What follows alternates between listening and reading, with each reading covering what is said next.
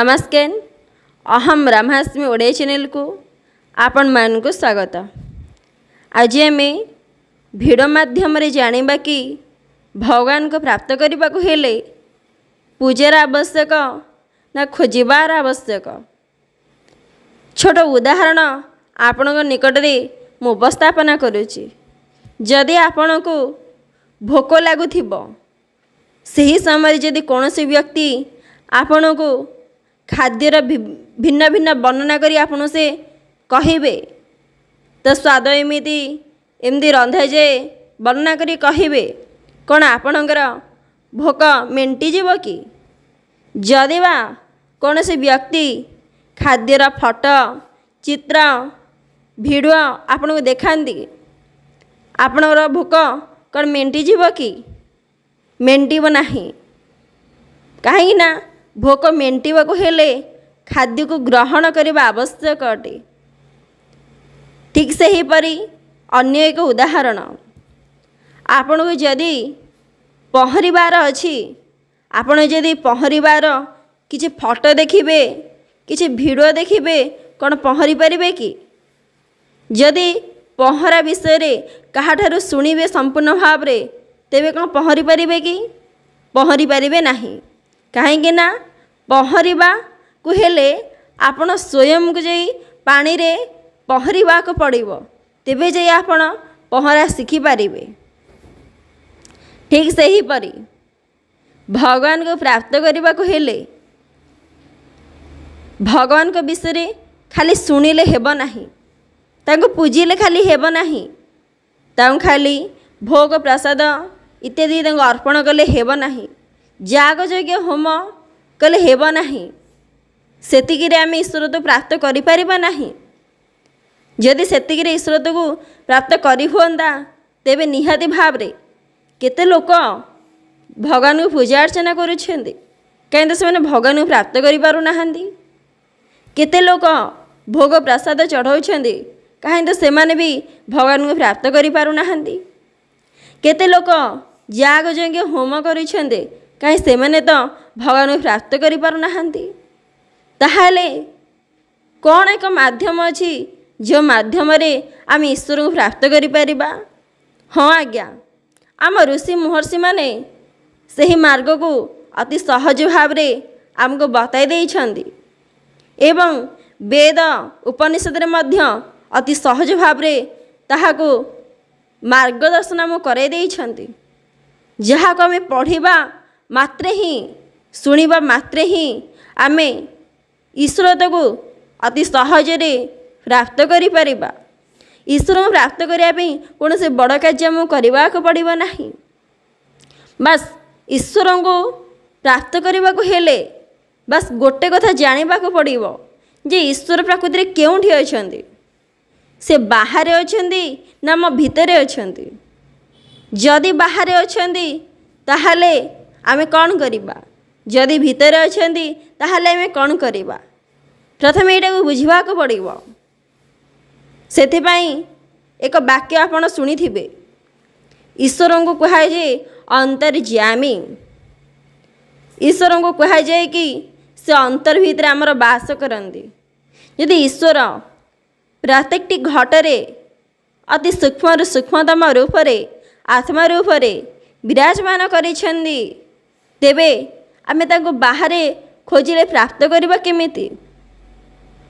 ଯେଉଁପରି ଗୋଟିଏ ଗହଣା ଆମେ ନୀତି ପ୍ରତିଦିନ ତାକୁ ପିନ୍ଧୁଛେ। କିନ୍ତୁ ଆମେ ଯଦି ତାକୁ ଯାଇ ଖୋଜିବା ଆମର ପଡ଼ୋଶୀ ଗାଁରେ ଅନ୍ୟ ଏକ ଘରେ କ'ଣ ଆମେ ପ୍ରାପ୍ତ କରିବା କି? ଯଦି ସେ ଗହଣା ହଜିଥିବ ଆମ ଘରେ ତ ଆମର ଘରେ ହିଁ ତାକୁ ଖୋଜିବାକୁ ପଡ଼ିବ। ତେବେ ହିଁ ଅତି ସହଜରେ ସେ ମିଳିଯିବ। ଯଦି ଆମେ ସେହି ଗହଣାକୁ ଅନ୍ୟ ଏକ ଗାଁରେ ଅନ୍ୟ ଏକ ଘରେ ଖୋଜନ୍ତି କ'ଣ ପ୍ରାପ୍ତ କରିପାରିବା କି? କେବେ ବି ନୁହଁ। ଠିକ୍ ସେହିପରି ଯେତେବେଳେ ଈଶ୍ୱର ଆମ ଭିତରେ ଅଛନ୍ତି ଆମ ଅନ୍ତର ଭିତରେ ସିଏ ବାସ କରିଛନ୍ତି ତେବେ ଆମକୁ ବାହାରେ ପୂଜିବାର କ'ଣ ଆବଶ୍ୟକତା ରହିଛି? ହଁ ପୂଜାର ଆବଶ୍ୟକତା ରହିଛି ତ ଏହା। ଯେତେବେଳେ କୌଣସି ବ୍ୟକ୍ତି ଭକ୍ତି ମାର୍ଗକୁ ମନ ବଳାଇ ନଥିବ। ତାହାକୁ ଭକ୍ତି ମାର୍ଗରେ ଜଡ଼ିତ କରିବା ପାଇଁ ଈଶ୍ୱରଙ୍କ ପୂଜା ଅର୍ଚ୍ଚନା ବିଧି ସବୁ ରଖାଯାଇଛି। କିନ୍ତୁ ତତ୍ପରେ ଏହା ମଧ୍ୟ ବି ରଖାଯାଇଛି କି ଈଶ୍ୱର ଦତ୍ତକୁ ସଠିକ୍ ଭାବରେ ଚିହ୍ନି ତାଙ୍କୁ ଜ୍ଞାନ ବଳରେ ଧ୍ୟାନ ବଳରେ ପ୍ରାପ୍ତ କରିବା ପାଇଁ। ତ ଠିକ୍ ସେହିପରି ଆମେ ପ୍ରକୃତରେ ଈଶ୍ୱରଙ୍କୁ ପ୍ରାପ୍ତ କରିବାକୁ ହେଲେ ଆମକୁ ଅନ୍ତର ଭିତରେ ଯିବାକୁ ପଡ଼ିବ। ଯେଉଁଠି ଈଶ୍ୱର ବାସ କରିଛନ୍ତି ତ ମାଧ୍ୟମ କ'ଣ କେଉଁ ମାଧ୍ୟମରେ ଆମେ ଅନ୍ତର ଭିତରକୁ ଯିବା ଯଦି କୁହାଯାଏ ଭୁବନେଶ୍ୱରକୁ ଯାଅ ଭୁବନେଶ୍ୱରକୁ ଯିବା ପାଇଁ ତ ଅନେକ ବସ୍ ଅଛି ବସ୍ରେ ଆମେ ଯାଇପାରିବା ଟ୍ରେନ୍ ଅଛି ବାଇକ୍ ଅଛି ଇତ୍ୟାଦିରେ ଆମେ ଯାଇପାରିବା ଯଦି କୁହାଯାଏ ଅନ୍ତର ଭିତରକୁ ଯାଅ ଈଶ୍ୱରଙ୍କୁ ପ୍ରାପ୍ତ କରିବ ତ ଅନ୍ତର ଭିତରକୁ ଆମେ ଯିବା କେମିତି ଯିବା ମନ ଦ୍ୱାରା ଯେଉଁ ମନ ଆମକୁ ସବୁବେଳେ ଦର୍ଶାଇଛି କି ଈଶ୍ୱର ବାହାରେ ଅଛନ୍ତି। ସେହି ମନକୁ ପ୍ରଥମେ ଏହା ସୂଚିତ କରିବାକୁ ପଡ଼ିବ ଯେ ଈଶ୍ୱର ଅନ୍ତର ଭିତରେ ଅଛନ୍ତି।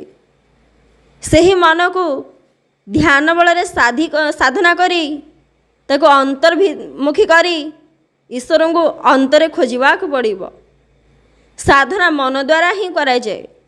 ମନକୁ ଯେତେବେଳେ ଆମେ ସାଧିପାରିବା ଈଶ୍ୱରଙ୍କୁ ତତ୍କ୍ଷଣିକ ପ୍ରାପ୍ତ କରିପାରିବା। କାହିଁକିନା ମନ ହିଁ ଆମକୁ ଈଶ୍ୱରଙ୍କ ନିକଟରେ ଯାଇ ଆମକୁ ପହଞ୍ଚାଇବ। ସେହି ମନକୁ ପ୍ରଶିକ୍ଷଣ ଦେବା ଅତ୍ୟନ୍ତ ଆବଶ୍ୟକ ଅଟେ।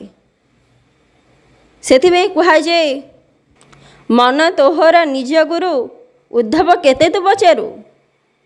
ଆରେ ଉଦ୍ଧବ ମନ ତୋର ବା ନିଜ ଗୁରୁ ତୁ ମୋତେ କ'ଣ ସବୁ ପଚାରୁଛୁ? ଶ୍ରୀକୃଷ୍ଣ ଏହି କଥା ଉଦ୍ଧବକୁ କହିଥିଲେ। ଠିକ୍ ସେହିପରି ମନ ଯେତେବେଳେ ବାହାରେ ଥିବ ନା ସେ ମାଙ୍କଡ଼।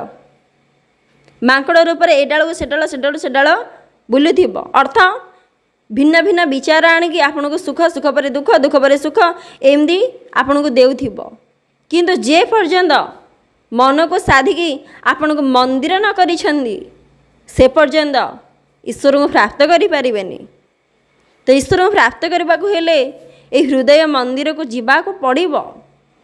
ସେଥିପାଇଁ ଆମକୁ ପରିଶ୍ରମ ବି କରିବାକୁ ପଡ଼ିବ ଧ୍ୟାନ କରିବାକୁ ପଡ଼ିବ ବେଦ ପଢ଼ିବାକୁ ପଡ଼ିବ ଗୀତା ପଢ଼ିବାକୁ ପଡ଼ିବ ଶ୍ରୀମଦ ଭାଗବତ ପଢ଼ିବାକୁ ପଡ଼ିବ। କାହିଁକି ନା ଏଇଥିରେ ଅତ୍ୟନ୍ତ ସହଜ ଭାବରେ ମାର୍ଗ ସବୁ ବତିଆ ଯାଇଛି। ଅନେକ ଦିନର ଋଷି ମହର୍ଷିମାନେ ଏହାକୁ ତର୍ଜମା କରି ମାର୍ଗ ବତେଇଛନ୍ତି। ସେହି ମାର୍ଗକୁ ଅନୁସରଣ କଲେ ଆମେ ଶୁଦ୍ଧ ଭାବରେ ଈଶ୍ୱରଙ୍କୁ ପ୍ରାପ୍ତ କରିପାରିବା। ନହେଲେ ଏମିତି ମନ୍ଦିରକୁ ଦୌଡ଼ିଥିବା ଫଟୋ ମୂର୍ତ୍ତିକି ପୂଜା କରୁଥିବା ଭୋଗ ପ୍ରସାଦ ଲଗାଉଥିବା କିନ୍ତୁ ଈଶ୍ୱର ତତ୍ତ୍ୱକୁ ପ୍ରାପ୍ତ କରିପାରିବା ନାହିଁ ଜୀବନ ବ୍ୟର୍ଥରେ କଟିଯିବ। ସେଥିପାଇଁ କୁହାଯାଏ କି ଆତ୍ମା ହେଉଛନ୍ତି ଈଶ୍ୱର ଭାଗବତରେ କୁହାଯାଇଛି। ସେହି ଆତ୍ମା ଆମ ଭିତରେ ଅଛନ୍ତି। ଏବଂ ସେହି ଈଶ୍ୱର ଆମ ଭିତରେ ମଧ୍ୟ ଅଛନ୍ତି। ସେହି ଆତ୍ମାକୁ ଈଶ୍ୱର କୁହାଯାଏ ସେହି ଆତ୍ମାକୁ ବ୍ରହ୍ମ କୁହାଯାଏ ଚେତନା କୁହାଯାଏ ଇତ୍ୟାଦି କୁହାଯାଏ ଭିନ୍ନ ଭିନ୍ନ ନାମକରଣ କରିଛନ୍ତି। କିନ୍ତୁ ଜଣେ ଜଣକୁ ହିଁ ବୁଝାଉଛି। ସେହି ଜଣକୁ ପ୍ରାପ୍ତ କରିବା ପାଇଁ ଭିନ୍ନ ଭିନ୍ନ ମାର୍ଗକୁ ଅବଲମ୍ବନ କରାଯାଇଛି। କର୍ମଯୋଗ ଧ୍ୟାନ ଯୋଗ ଜ୍ଞାନ ଯୋଗ ଭକ୍ତି ଯୋଗ ସେଥିପାଇଁ ଶ୍ରୀକୃଷ୍ଣ ଅତି ସୁନ୍ଦର ଭାବରେ ଗୀତାରେ ଏହି ଚାରୋଟି ଯୋଗ କଥା ଅର୍ଜୁନକୁ ବିଶେଷଣ କରି କହିଛନ୍ତି। ଚାରୋଟି ମାର୍ଗରେ ଯେତେବେଳେ ଗୋଟେ ପ୍ରାଣୀ ଗୋଟେ ମନୁଷ୍ୟ ଅତିବାହିତ କରିବ ନିଜ ଜୀବନ ତଦ୍ୱାରା ସେ ଆସ୍ତେ ଆସ୍ତେ ଆସ୍ତେ ଆସ୍ତେ କ'ଣ ହେବ? ନା ଅନ୍ତର୍ମୁଖୀ ହେବ। ପ୍ରଥମେ ସେ ଶୁଦ୍ଧ କର୍ମ କରିବ। ଦ୍ୱିତୀୟରେ ତା ଭିତରେ ଭକ୍ତିଭାବ ଆସିବ। ଭକ୍ତିଭାବ ଆସିବା ଦ୍ୱାରା ସିଏ କ'ଣ କରିବ?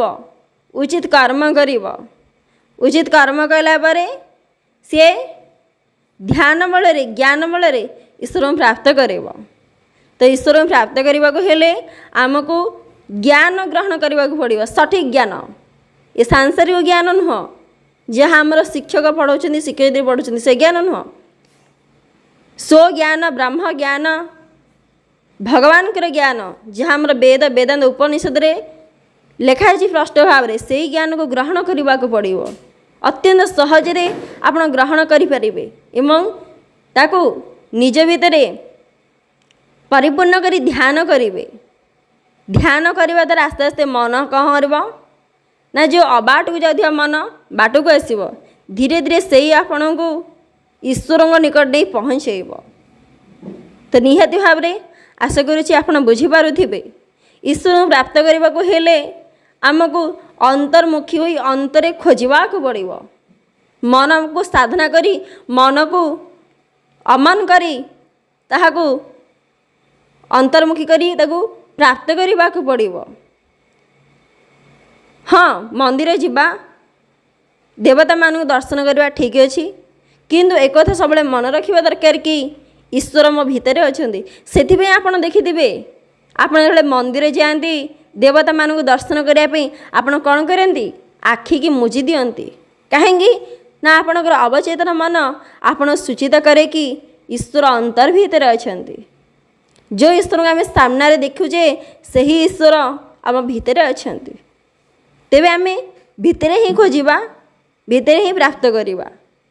ତ ଆଶା କରୁଛି ଆପଣ ନିହାତି ଭାବରେ ପ୍ରଚେଷ୍ଟା କରିବେ ଈଶ୍ୱରଙ୍କୁ ପ୍ରାପ୍ତ କରିବା ପାଇଁ।